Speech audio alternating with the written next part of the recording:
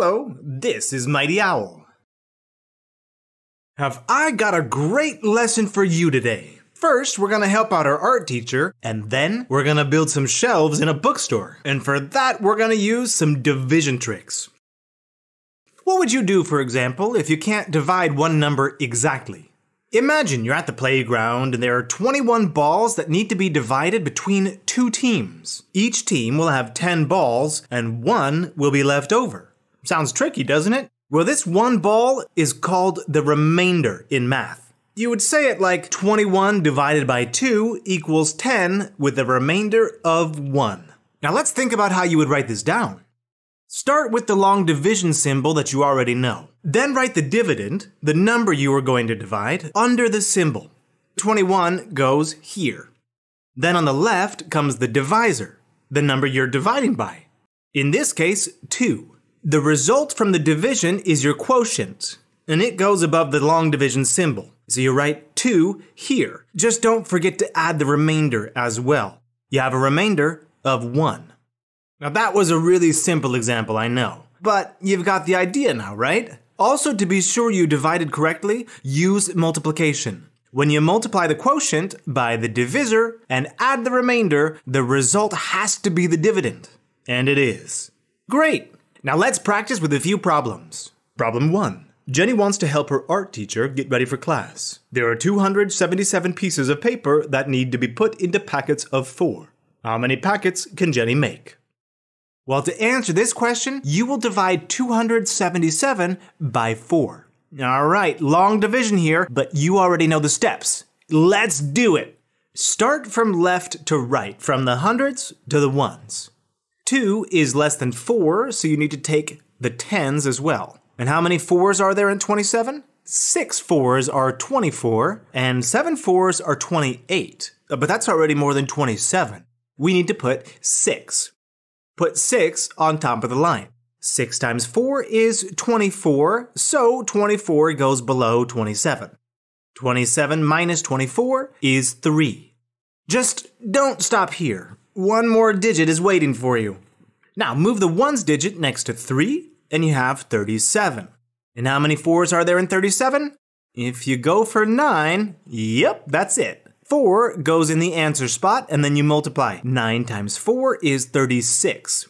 Subtract 37 minus 36 is 1. And game over, no more digits, which means you've just divided 277 by 4, and the result you got is 69 with a remainder of 1. Now let's check the multiplication to make sure we were correct. You'll multiply 4 by 69, and this is really important add back in the remainder.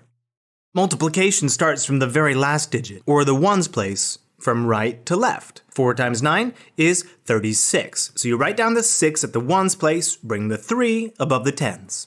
4 times 6 is 24. Plus these 3 here is 27. The result was 276. Oh, don't forget the remainder though 276 plus 1, so here we have 277.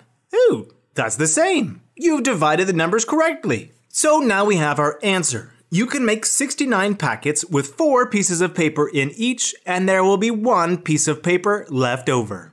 Now the second problem is waiting for you. A bookstore has 9,675 books. That's a lot of books. If 8 books fit on each shelf, how many shelves are needed? Ooh, that is a mighty, mighty big number here. But there's no time to waste. And I have a suspicion there's gonna be remainder in this one. What do you think?